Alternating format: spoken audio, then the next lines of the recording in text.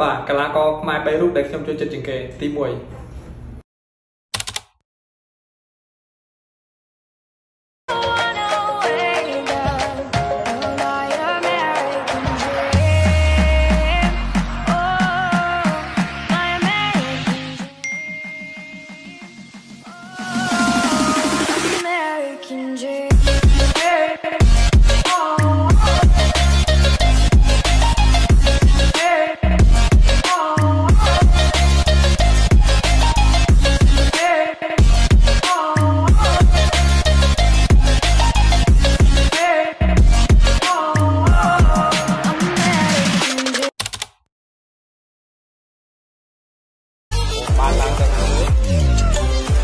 បាទឲ្យជាងអានធាកន្លែងនេះជាងកັບស្ដាំគាត់ដំងទូមួយមើល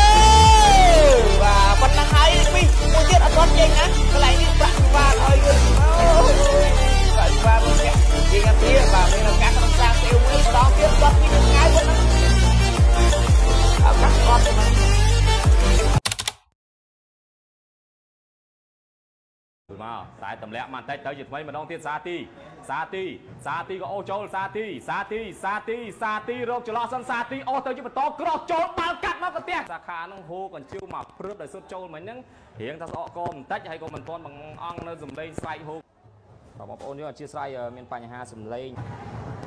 បើបំផ្លងតកែសុកសេឡាឡើងមកលើ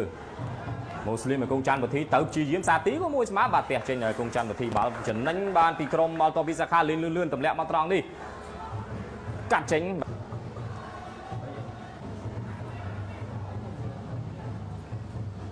ទៅឡា